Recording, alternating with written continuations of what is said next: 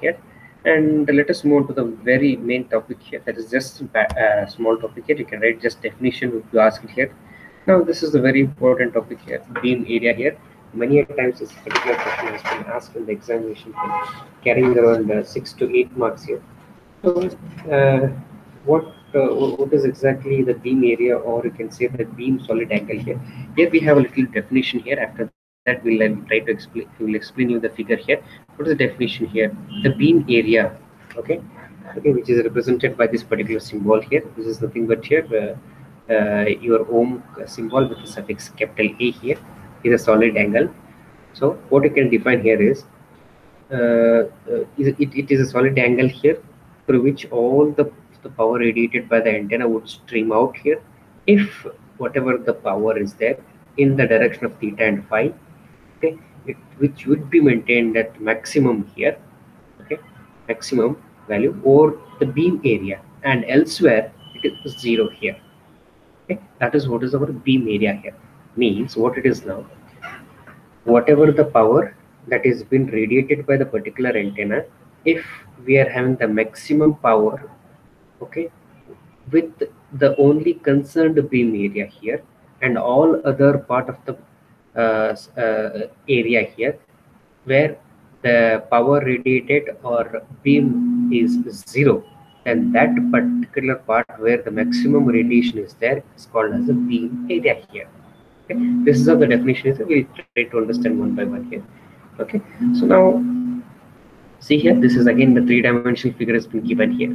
So where we are having uh, or can say two-dimensional polar coordinates here.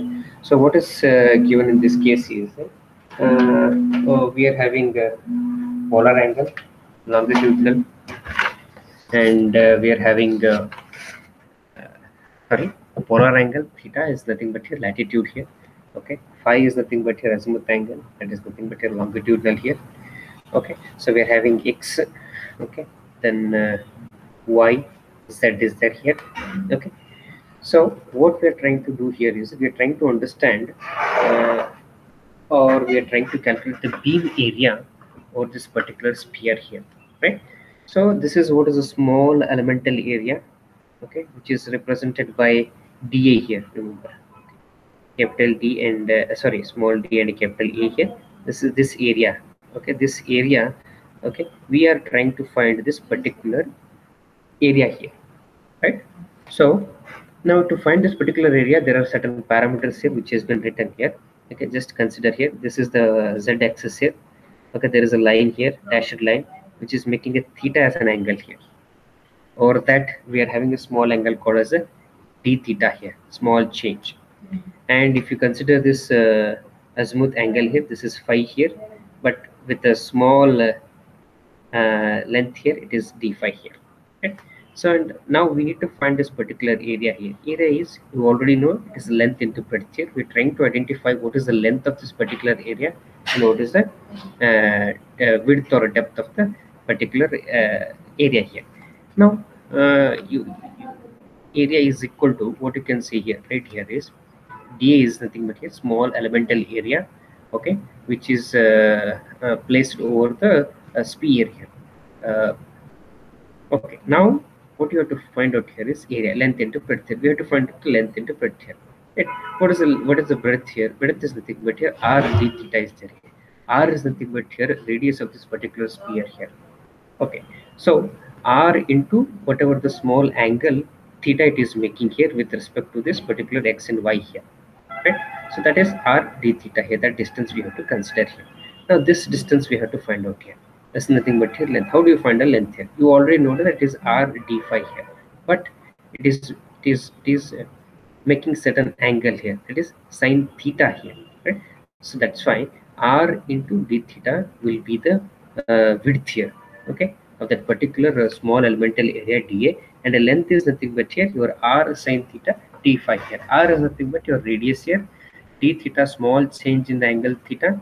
D phi small change in the angle phi uh, with this r into d phi this is the length here. With with that uh, respect here theta makes an angle of sine theta here.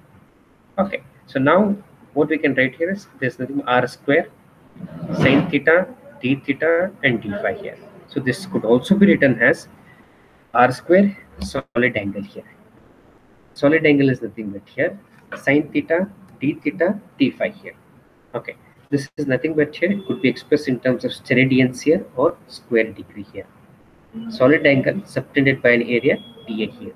Okay, now mm, we wanted to find the area of the sphere. How do we find the area of the sphere here? Right.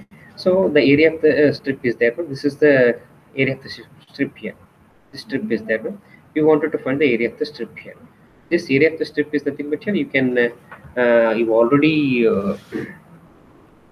know that uh, we are having a uh, small length of how much? Small length of uh, sine theta is there here. Okay. Sine theta it is making an angle here, and it is having the width of how much? It is r d theta is there. So what is the uh, circular area here? 2 pi is there. So that's why the strip this strip has area of 2 pi r sine theta r d theta here. That's why we are written here 2 pi r sine theta into r d theta here.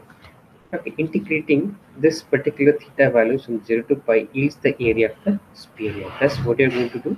We're trying to integrate this particular 2 pi r uh, into sine theta r r d theta here. So 0 to pi sine theta d theta here. Okay, even though this one r square will come outside here and also 2 pi here. Okay, that's a constant term here. So at the end, we will have the area of the sphere in this particular sphere as 4 pi r square here. Now where 4 pi is nothing but here, it is a solid angle here. Solid angle extended by the sphere here, which is which unit is steradian here. Now the beam area, another definition, we can also consider this also here. Beam area or a beam solid angle, okay, of a particular antenna is given by what here? Integration of the normalized power pattern here for a sphere of 4 pi steradian here. That you can write as a definition also here. Now, how do we write the beam area symbol? You know the beam area symbol or beam solid angle symbol here. So you know the phi phi is nothing but azimuth angle here, which could be varying from 0 to pi. Theta is nothing but here polar angle, which is going to vary from 0 to pi here, and hence normalized power pattern is nothing but here Pn of theta comma phi here. Okay, into whatever the solid angle we are having here. That is sine theta, d theta, d phi here. Okay. Now this can also be further simplified as a 4 pi here, steradian as we say it is power pattern over a 4 pi, uh, 4 pi steradian. So you can write it as steradian 4 pi here. Pn comma phi. This you know right? Solid angle, not a beam there. Where uh, spread angle equal to sine theta, d theta, d phi here. Now you can say the definition here. That is beam area is a solid angle through which all of the power radiated by the particular antenna would stream out here. Would stream out. Okay. So that power should be maximum value here for that particular beam area and was zero elsewhere here. That is how we can mention the definition of the beam area here the power radiated is equal to whatever the power into the beam area is there. Beam area also can also be represented with the theta hp and phi hp. Theta hp and phi hp are nothing but here half power the bandwidth here. Okay, right. This is how we can define the beam area here. So whenever this has been asked for six to eight marks here, you have to draw this particular diagram here with all this whatever the theta, phi, r, d phi, d theta, and whatever the side is there and the length is there here, area, polar angle, uh, latitude, longitude, azimuth angle, all this, uh, the, the, uh, the parameters you have to mention, the labels you have to mention, and then we have to write these all these four to five points here, so that you could get the six to eight marks. This is how we can understand the beam area. Beam area is something which here where maximum radiation would be transmitting here. Other areas will be zero here. Okay, with maximum power will be transmitted with respect to other areas here. Okay, that is what is the beam area here. Okay, now how exactly we're going to define a simple definition is that here regarding the radiation intensity here. The power radiated from an antenna per unit solid angle here. Per solid angle is called as a radiation intensity here. Okay, per unit solid angle here. This is also uh, radiation intensity. How much the radiation that is being generated here is having intensity. Uh, if at all you wanted to calculate here, you have to go ahead with the power radiated from an antenna per unit solid angle here. Okay. okay. Now let us understand the definition. That is again not definition but the formula which we had having here regarding normalized power pattern here. So normalized power pattern can be expressed in terms of the ratio of the whatever the radiation intensity is there okay? Whatever the radiation intensity is there as the function of angle to its maximum value here. So this is how we can represent the normalized power pattern here. Okay? Radiation uh, intensity to the maximum radiation intensity will give me the normalized power pattern here. Okay? And where uh, this this can also be represented with the uh, s here s into theta comma phi s into theta comma phi max here. This is nothing but here again it is a power density you can consider here or you can consider as a Poynting vector that depends on the distance from an antenna here. That also you can consider. U is nothing but here again the radiation intensity independent of the distance here. That's all. If at all there is a uh, distance is taken into the condition here, then we can represent with the S capital S. If at all there is no distance consideration, then you can go ahead with the representation of the capital U here. Whenever we want to define the normalized power pattern here. Okay? Right. Now uh, beam efficiency. What is beam efficiency here? Nothing but here we are trying to understand. Now we are trying to measure the performance here. That is what is efficiency right? Okay? So uh, we we are trying to uh, measure the power efficiency here. How much power that has been radiated by the particular antenna. How much has been received here.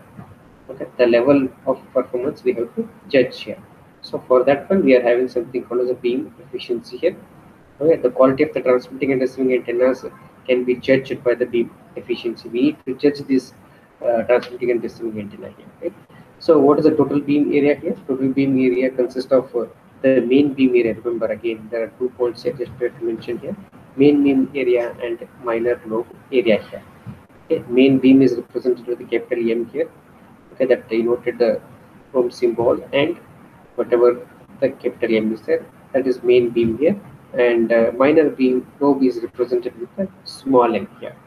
Total beam area is represented by this uh, inverted uh, O with suffix a here. Okay? So the ratio of the main beam area to the total beam area is called the beam efficiency now. Okay? Beam efficiency is nothing but here. The ratio of the total uh, sorry uh, main beam area to the total area will give me the beam efficiency here. If at all we consider the minor uh, lobe or minor beam area here to the total beam area, that is nothing but here, stray factor is called as. So together main beam area or efficiency of the main beam area and the efficiency of what, uh, whatever the you can say the stray factor of the minor lobe is equal to 1 here. Okay. So now what is exactly the directivity here? So the definition for directivity of an antenna is nothing but ratio of whatever the radiation intensity is there in one particular direction here. Okay, from the antenna to the uh, radiation intensity average uh, all over the directions here or overall directions here. That simple definition is there here. That, is, that could also be stated in another form here. The directivity of an antenna is uh, uh, equal to the ratio of uh, the maximum power density that is to the average value over a sphere as observed in the far field of an antenna here. Okay? This is how we can also explain the directivity of a particular antenna here. That is nothing but here max power density to the average power density is nothing but here directivity from pattern explanation here. Or simple definition you can also mention is the ratio of the radiation uh, intensity in a given direction from the antenna to the radiation intensity average over all directions. So this is also both can mention here. Hmm. Now further we can what we can do how about the average power uh, density over a sphere is given here. Now it is being given 1 by 4 pi. Pi is equal to 0 to 2 pi and theta is equal to 0 to pi here the power is being given sine theta d theta d phi here. This could also be represented with this uh, 1 by 4 pi. Uh, then integration 4 pi uh, p theta uh, theta comma phi uh, in whatever the solid angle is there here. Okay, so directivity can also be further simplified. You can write here in terms of the beam area we are trying to understand here. Okay, this uh, power uh, theta comma phi average is been written with this equation here. This equation can be substituted uh, in the capital D here. Okay, so this uh, particular uh, this area is nothing but here. That is, we can take the numerator part. Okay, in this directivity equation that is p theta comma phi max to the uh, denominator here we can write it here so if that is the there here you know this uh, this equation is nothing but here our beam area here so this could also be represented with the beam area here normalized power pattern here uh, over a sphere here right so that is nothing but here beam area we are having here so directivity finally could be written as 4 pi divided by whatever the beam area is here directivity from beam area here okay so this is how we can write the directivity definitions remember here whenever in the examinations or in the interview here it will be asked here like what is exactly or the definition of the directivity from beam area here or from the power pattern here? So if at all they have been asked to represent the directivity in terms of the beam area is you can use this particular equation as d is equal to 4 pi by p media here. Okay. So uh, look into the question and answer here. They may ask you from the uh, power pattern the definition that you can write here these four lines and this particular equation can write if at all they ask you to write the directivity in terms of the beam elements you have to write this particular equation here T is equal to 4 pi divided by whatever the beam is having here okay Now regarding the gain here. Now the performance of a particular antenna can be can be judged or you can say can be measured uh, using the gain here. Is a measure that takes into account the efficiency of an antenna as well as the directional capabilities. Both it is taking uh, into consideration. Okay, so gain will take both the efficiency and also the directional capabilities of a particular antenna while judging the performance of an antenna here. Now gain of an antenna, how we can define here? Gain of an antenna is nothing but it is a ratio of the whatever the radiation intensity we are having in a one particular direction here towards the radiation intensity that would be obtained here, the power radiated or if uh, power accepted by the antenna were radiated isotropically. I think I have explained you regarding the isotropic. Isotropic is nothing but a same radiation pattern or same energy radiating in all the directions here, right? So what is gain here? Gain is nothing but 4.2 whatever the radiation intensity in one direction to the total input power here. And that would be accepted here. That is nothing but a gain you can define here. Okay? That is 1.2 uh, radiation intensity nothing but mu theta comma phi divided by P in P is the in the, the total power input here. Okay? Gain gain uh, can also be uh, can also be measured here by comparing the maximum power density of a particular uh, antenna under test here with a reference antenna of a known gain here. This is how we can also write the uh, gain. Gain is equal to maximum power uh, that has been obtained by an antenna under test here to the maximum power of the reference antenna into whatever the gain of the reference antenna is. Uh, with that also we could get the uh, gain of a particular antenna here can be measured here. You always remember here gain is always less than the directivity here. Antenna gain is related to directivity here. This G is equal to K into D here. K is nothing but here efficiency um, uh, factor here. internal efficiency factor here that could be less than one here follows. Okay. It takes into account the actual losses that occur here.